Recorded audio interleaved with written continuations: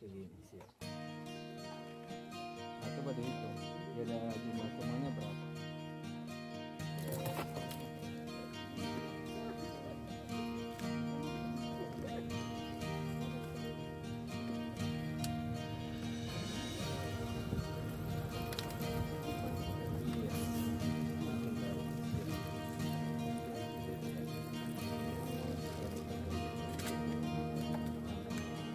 Iya.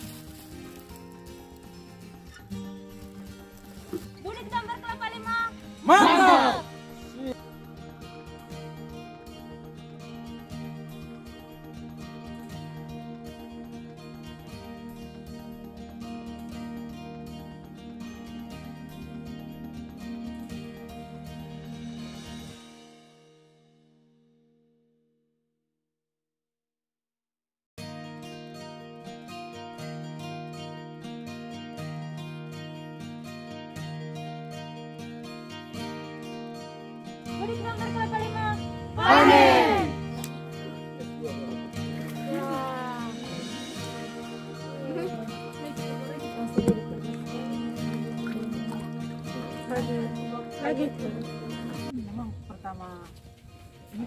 Terkejut kok bisa ada ikannya di dalam ember terus ada hiasan kangkung ada taruh kangkung.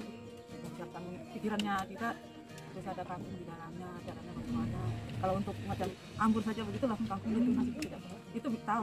Tapi pas ada dia punya apa pakai arang terus pakai taruh kangkung bermanfaat. Nanti untuk ke depannya kita bisa ya buat-buat untuk hiasan-hiasan di rumah. Macam kalau taruh begitu kan orang tamu datang ih kok bisa? Ada begini tahu dari mana